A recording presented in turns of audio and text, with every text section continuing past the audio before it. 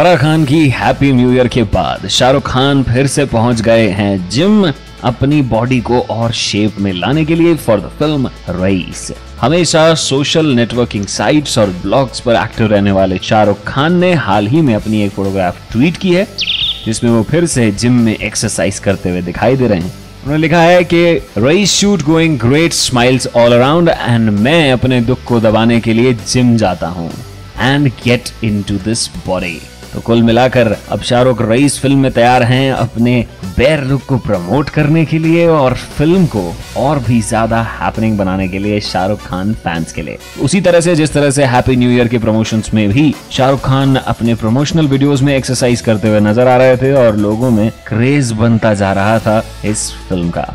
Talking about the film ये film direct कर रहे हैं राहुल ढोलकिया और इसे प्रोड्यूस कर रहे हैं Farhan Akhtar, Ritesh Sidhwani and Gauri Khan.